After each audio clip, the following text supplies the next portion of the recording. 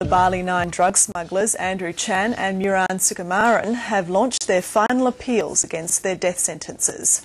The two men were convicted in 2006 of being the ringleaders of a plot to smuggle almost 9 kilograms of heroin into Australia. Speaking in Indonesian, they pleaded with the judges in Denpasar District Court to spare them from the firing squad.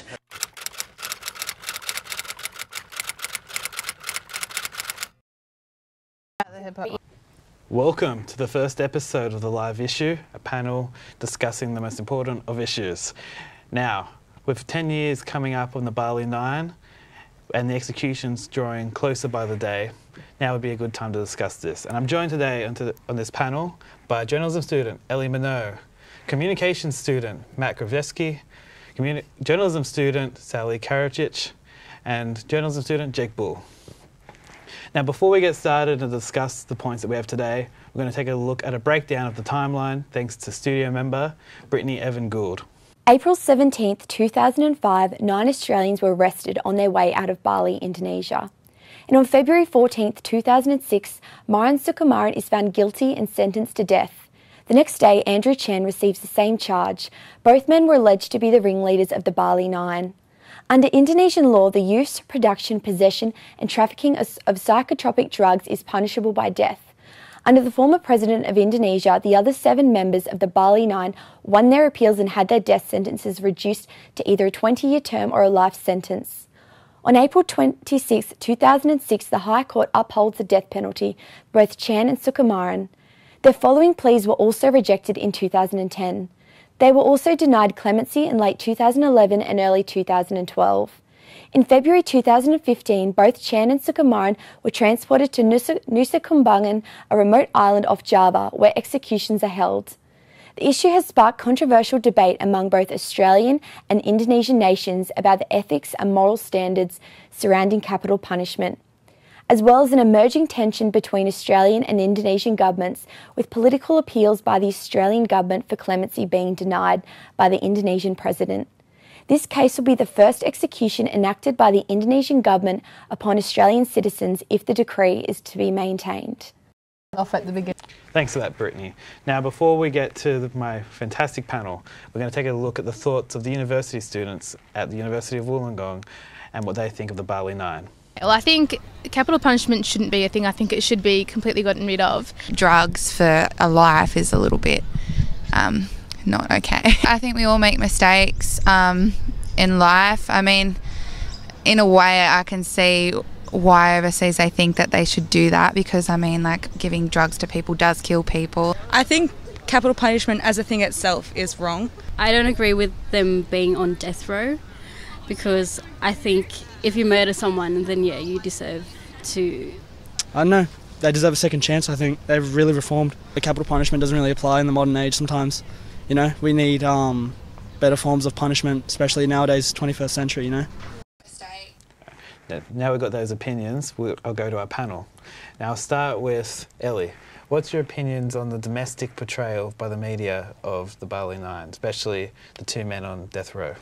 I think that the media plays a significant role in formulating the public opinion. But with that being said, are they being selective with what they're telling us? We don't know that the majority of the public doesn't know that a Filipino woman was actually up for capital punishment as well for the same crime, though that's not being covered in the media. So it's really a question of are they being selective so they can formulate up opinion in a certain way so that we're all united on the same forefront to beg basically for their lives. So.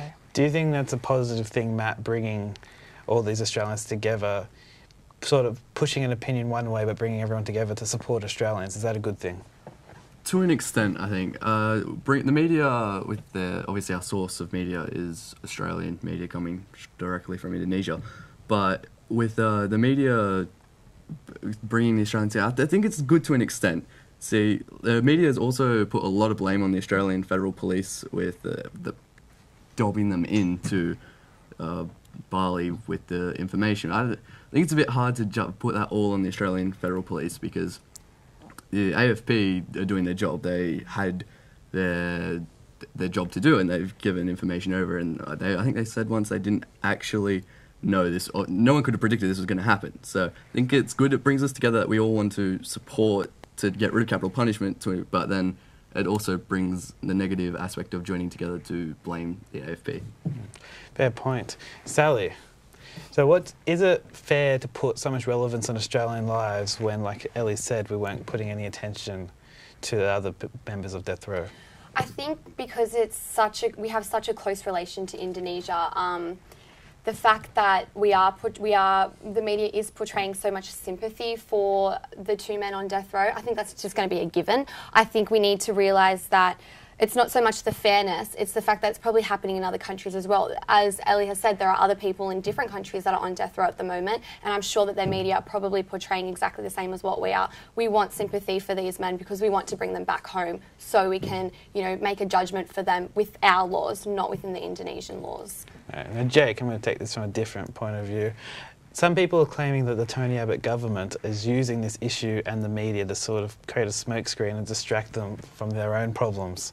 Because if everyone's thinking about this and not thinking about the government, what's your, thoughts on that? Um, well, it's definitely a ploy that I think they have used. Um, you know, the making them look good and, and, showing face, and the fact that you know they're promoting and trying to help and get these people home um, shows that they, you know that they're a they're a good government, and hopefully with elections coming up, they, they want people to, to vote them in. So I mean that's part of their job. That's what they're they're there to do. Um, but also back on the fact that you know with the media portrayal, um, you know the media is a business. They have to make money, and they make money by you know putting in stories that Australians are going to want to read. Um, so by saying that the Australians and, and putting them in, in the, the media spotlight is definitely good for them. So I think on that point with what Jake's talking about is that when you are discussing about the media, they have that that's how they make their money. It's their job, yeah. and I think in order the media try to provoke emotion and you want emotion and you want to provoke that stuff out of your audience so in order for for like in order for the audience to get provoked about something and to get behind a passion then um, we create sympathy for these for the men over in death row. But the Australian Federal Police are being targeted and saying that they are solely accountable. Why weren't they arrested on Australian soil? Because they were on their way home. But I think the media is directing the whole issue towards the AFP and the fact they were caught, regardless of the fact they have committed a crime, and this is the consequence of that crime. And the AFP being portrayed by the Australian media as the sole, you know, people why this is occurring. It's just not mandated. So I'll pose one last question to the group. Anyone feel free to jump in here. With the media portraying these Australian citizens as men that should be spared, are they portraying them in too favourable of a light considering that they're bringing in drugs into our country?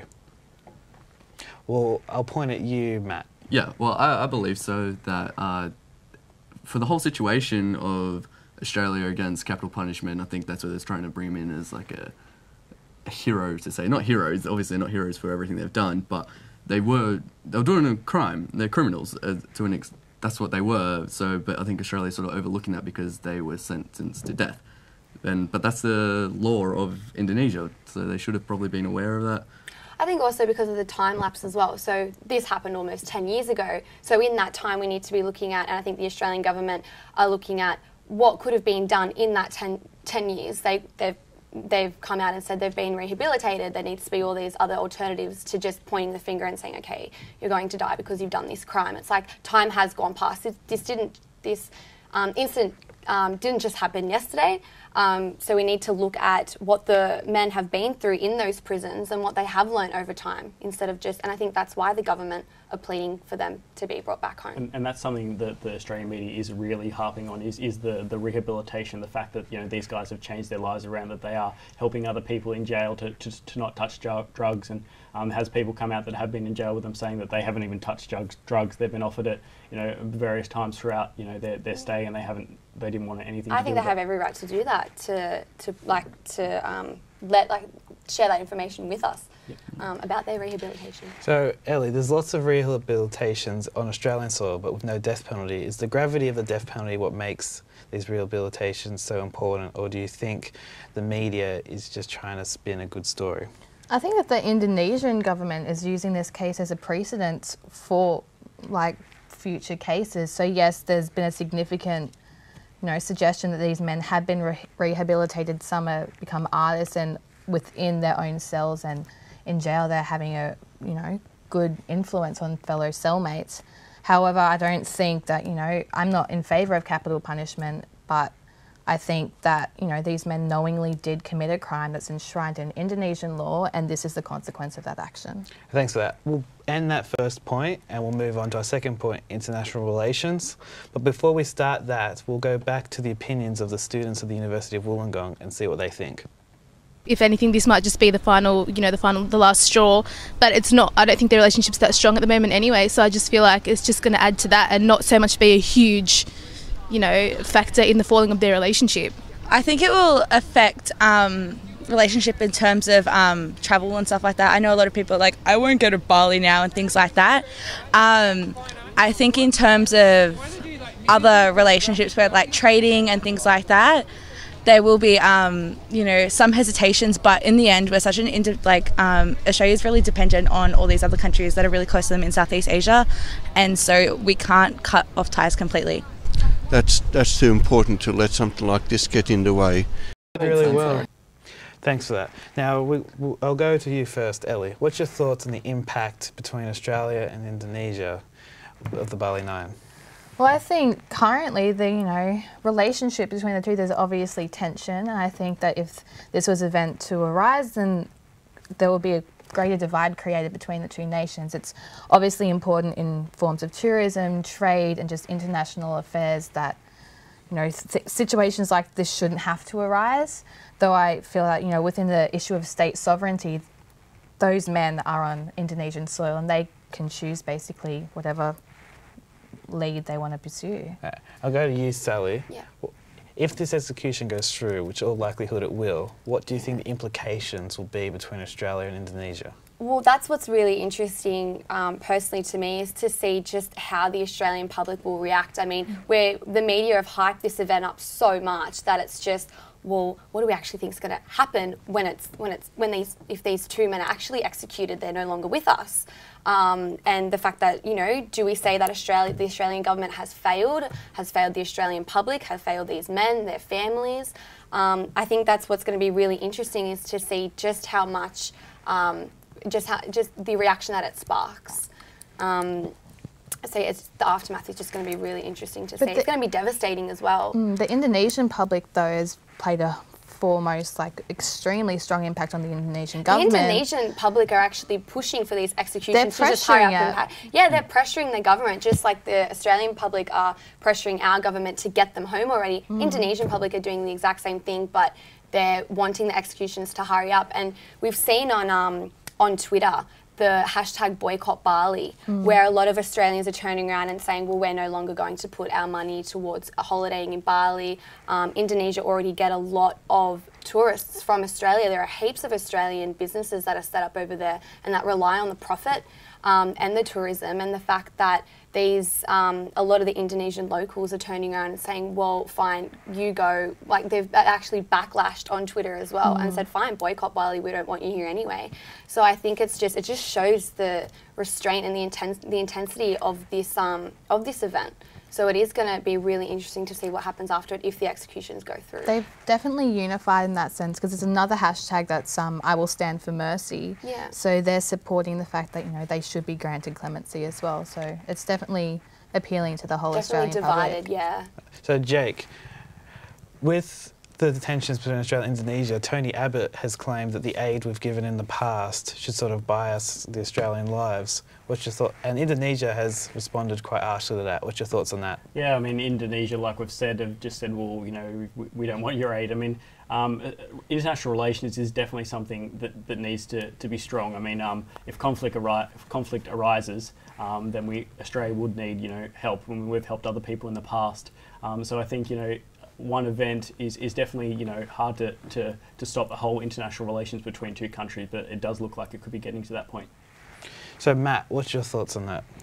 Yeah, I, I agree with Jake over here with saying that uh, we will need them. Event if there's any conflict, we're going to need Indonesia. They're such a big ally to Australia at the moment. But with Tony Abbott already coming out and saying if the executions go ahead, uh, the relationship's going to be harmed. And then obviously with Indonesia already rallying against uh, for the uh, the executions to happen already, and there's already a clear tension divide between the two. And oh, on that point with Indonesia rallying, I think it was uh, really interesting with the hypocrisy of Indonesia in the sense of execution, that they're so strict and so pushing forward for these two Australians to get executed that they kind of forget that they're obviously they're also trying to get clemency for their own people in other countries such as Saudi Arabia and other countries throughout the Middle East. So I thought that point was really interesting.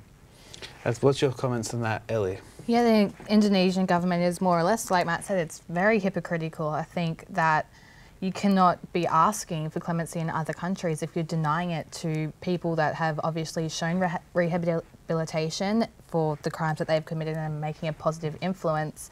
And you cannot create the distinction and cultural divide within certain nations because that's the case. Like, you know, they have just pardoned a man sentenced for murder, so now they're granting clemency to people that have committed murder, but not those that are trafficking drugs. So I think it's contradictory, hypocritical, and it's just immoral, really. So, Sally, do you think it's fair for Indonesia to not want to give in to Australia because they don't want to be shown as being pushed around, considering the tensions that have arisen through immigration issues in the past and Australia giving aid.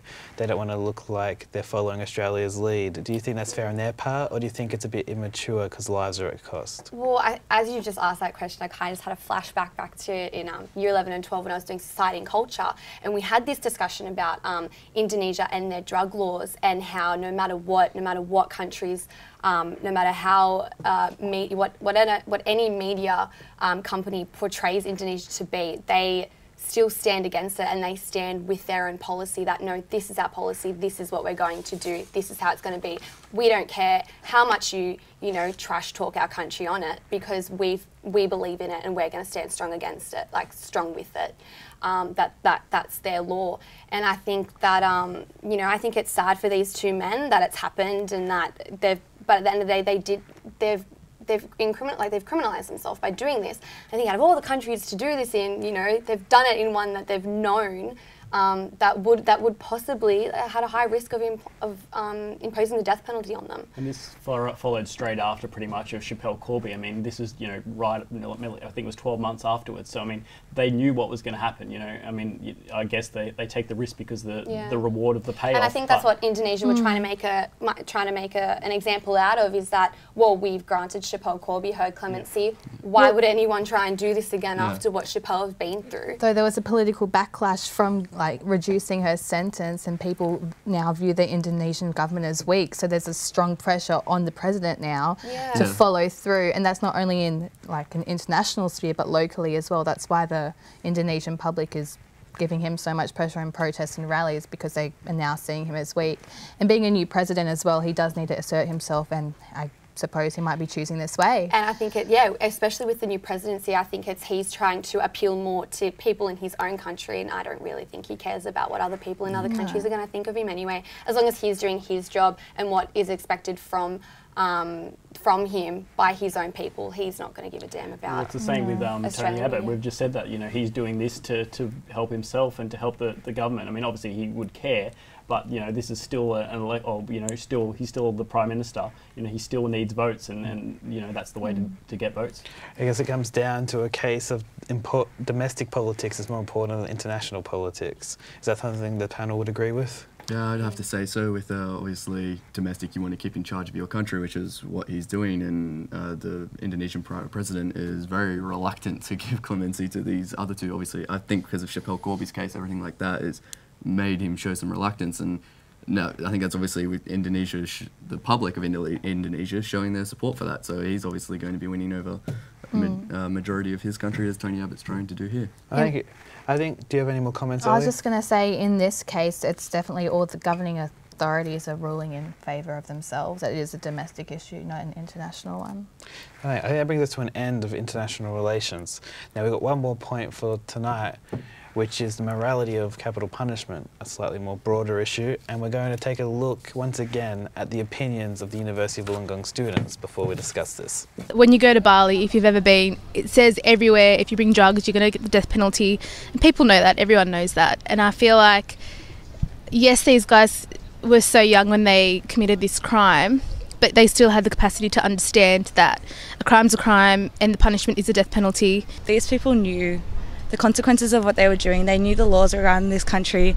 It's expected that uh, they knew what they were getting into. Well, they shouldn't have done what they did, obviously, you know. Drugs are never good. They've changed heaps. Like, one of them's an artist now, and one of them's like helping kids and stuff. If the, Indone- if the Indonesian government doesn't go through with it, then their capacity as a state and people following their laws is going to be undermined. And they're just going to have like a lack of credibility. People are just going to walk all over them and think they can always get away with it. If you commit a crime and you know the consequence, you should be ready to suffer that consequence. I know they've like reformed, and I think they were being trying to be like big advocates for rehab and stuff for people in the jail. They seem like they've really changed in Bali, Balinese jail. So I don't know. I think it's Australia's problem to deal with, not necessarily Bali's. Like Indonesia's parliament to deal with. You know what I mean? Capital punishment is a very controversial issue, not only domestically but internationally, with countries like America dealing with this. And Matt, I believe there's plenty of countries that still have capital punishment. Yeah, there's actually, um, believe it's 57 or 58 countries still have it legal. Um, there's a list here somewhere. I'll just name a few. Is Afghanistan, Belarus, uh, Cuba, Egypt. Iran, Iraq, Japan. That's a bit of a, a shock to me to see, but there's still a lot of countries that still have it, and there's also I think 35 that have it sanctioned. So it's not really a law, but it's there, and it hasn't been. Majority of them haven't used it in 10 or so years. So that's sort of in the middle of the two. So, um, Sally, I'll go to you. Do you think capital punishment is an archaic philosophy, or do you think it's something that could still be relevant in today's society? I definitely think capital punishment is totally outdated. I mean, we're in the 21st century now. We, you know, we um, we've got you know government like, bodies such as the UN and stuff like that that we um, we promote so much. Um, like so much rights for humans as individuals and just as a collective and you know helping the international community and stuff like that. We've just come a long way from all these historical events um, to try and you know you know get get the point across that humans have a right to live and that we shouldn't be taking one life especially over something like drugs. I mean drugs kill you know heaps of people uh, and you know you could say oh yeah you know they've done it to themselves they've brought over the drugs knowing the risk and stuff like that but i don't think that turning around and just sitting on the fence and saying, well, that's Indonesia's laws, you need to abide by it. I think Indonesia need to step up and they need to reform their laws because it's, it's totally wrong.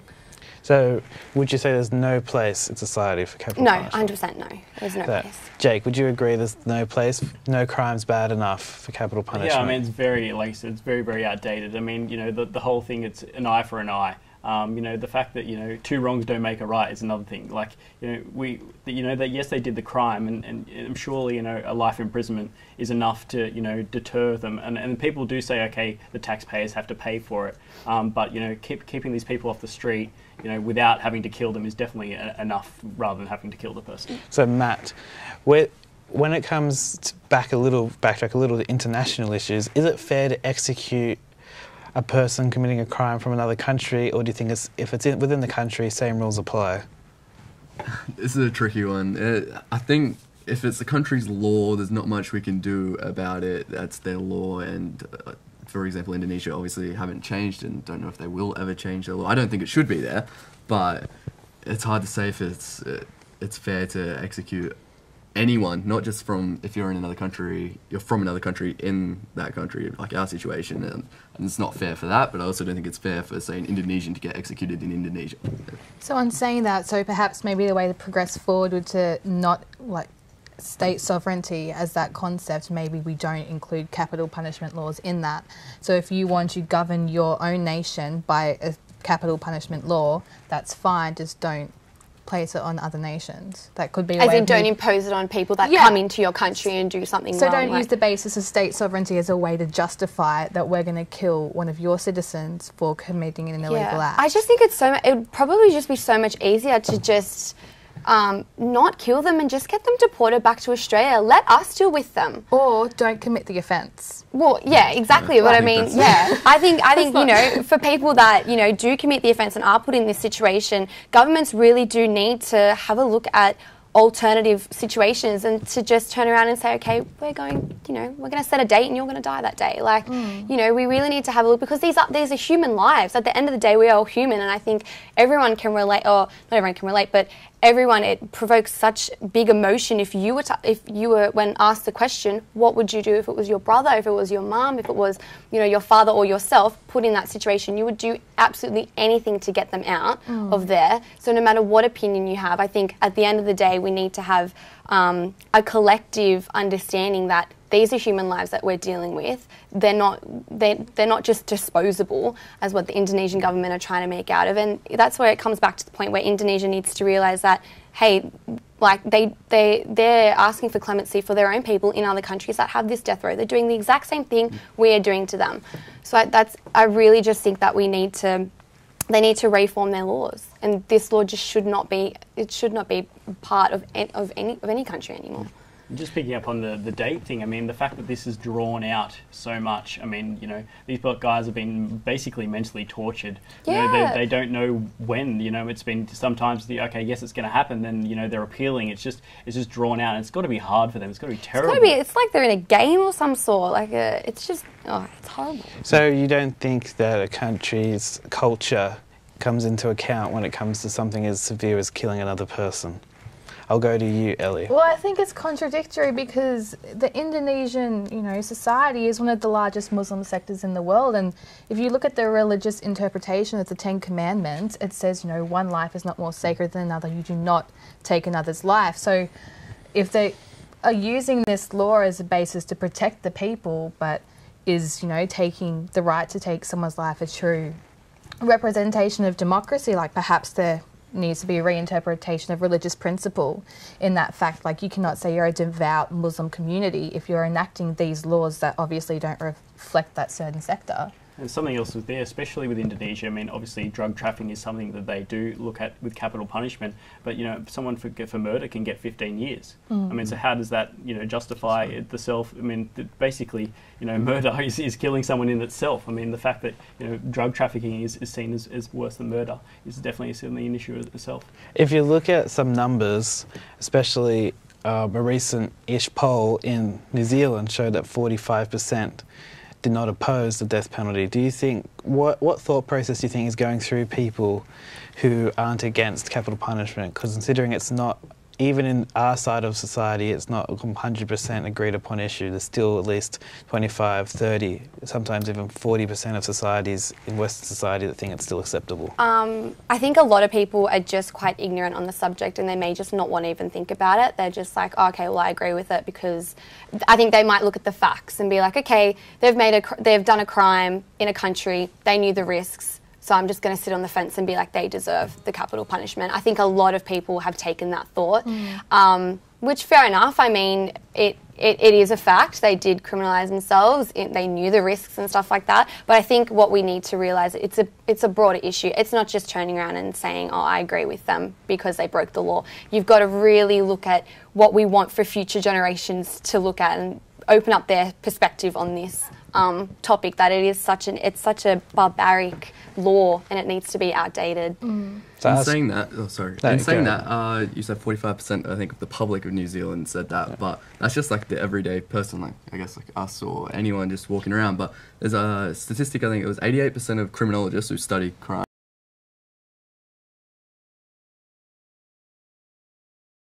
Or if we do this, it might stop people from doing crimes in the future. But criminologists have come out and said, well, no, it's not effective at all in that way. We'd also like people at home to let us know their comments. We're using the hashtag on Twitter, the live issue. What do you think of capital punishment? Now I'll go to Jake. What's your thoughts of the impact of of the Bali Nine executions on future generations? Keeping this execution and executing Australians, what type of, what will this do to the like eight year olds, ten year olds at home that's watching this on the news? Yeah, I mean it's definitely tough. I mean, you know, the fact that you know, this is out playing in the media, the landscape, and the fact that it has drawn out for so long. I mean, you know, there's going to be kids asking, you know, what, why, you know, what's what, what is bad enough to, to, to kill someone over. Um, I mean, we'd like to hope that you know this would stop drug trafficking, but in all realistic, it's it's not. It's not going to stop it. Um, but yeah, it's definitely a tough issue that you know parents are going to have to deal with with, with children for sure. And this is a point of the night where I'm going to ask for final comments and thoughts. So anything that you've got on your chest, let it go.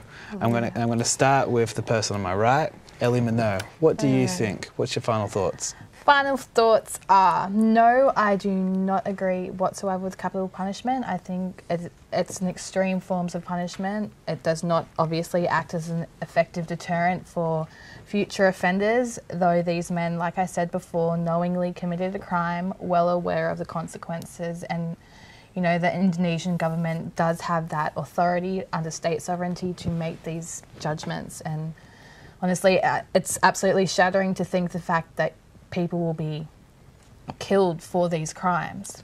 In saying that, you know, murderers are killed and stuff, and rapists and people that actually commit atrocious crimes. And I'm not saying that drug trafficking isn't a bad crime. It obviously kills people and exposes to people to narcotics and psychotropic drugs that do have an effect. But I think that, you know, this is just the wrong way to go about it. And Matt, final thoughts.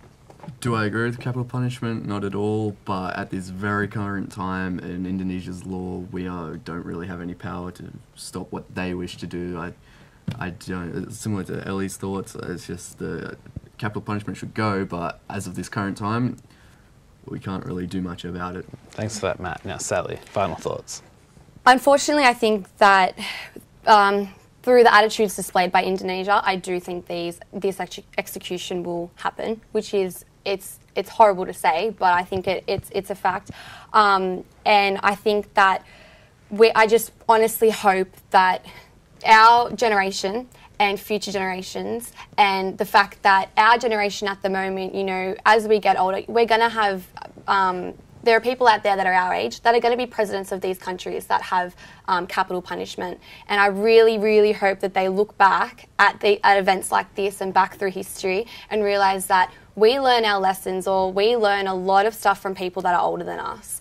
And if we don't want history to repeat itself, um, I definitely think that they need to have that in mind about alternative um, solutions other than capital punishment, such as rehabilitation. Because I'm telling you now, Trent, there are a lot of kids our age that are using these drugs that that, that um, the two men were trying to bring back into the country. And I hope that if these future presidents have one day you know they've become president of their country and they've got capital punishment in their country and they look back at what they were doing as a child or what they, what they were doing as a teenager realize that um, it, it's it's it's not a deterrent at all and it's barbaric and it's uncivilized. And I think as a nation and, and as you know just a human being in general the world needs to stop and reflect on what we can do to help people like this not just not just put them under the ground and forget about them Oh, thanks, Ellie. Now, last but not least, Jake Bull, what's your final thoughts? Yeah, I mean, picking up on that, well, you know, the future presence, but you know, I guess we can consider ourselves as future journalists. So, I mean, what, what our way of you know changing people's views through through our words and through our, our stories is definitely something that we can help change as well. I mean, cap- capital punishment, no matter what way you look at it, is bad. Um, and you know, countries are getting rid of it, but you know, there's there's still countries that like Indonesia that are going to keep doing it, and we need to really push for, for that to stop and as soon as possible. And, I mean, unfortunately, it may not be before these Australians, but if we can learn from that in the future, it definitely would be for the better. Thanks for that, Jake. Now, I'll end tonight with my final thoughts. Um, the people on tonight's panel made lots of great points, lots of good decisions. I think the majority of people watching tonight will probably agree that capital punishment is an incredibly harsh crime. And while it's impossible for us to stop or control what Indonesia is doing, we're stuck watching the media's portrayal of these events. Now, the media can will put, will rally the country together to defend these men, and these men do not probably do not deserve the punishment they are going to receive. Now, you, any nation can decide the punishment of crimes within their country. Capital punishment, though, is a whole different level. These men could be given life, they could be given 20 years like the other seven Bali Nine members, but capital punishment is something that will need to be debated and discussed among society before and after the Bali Nine. Now, I'd like to thank my panel for having a very engaging and riveting conversation. First, I'll start with thanking Ellie Minot. Thanks for joining us. Matt Gurskowski, Sally, Kalojicic, sorry about that, Sully, and Jake Bull. Thank you for joining tonight. I hope the people at home enjoyed tonight, the very first live issue, and hopefully we'll be around again for, to, to talk about something new for you at home. Enjoy your night.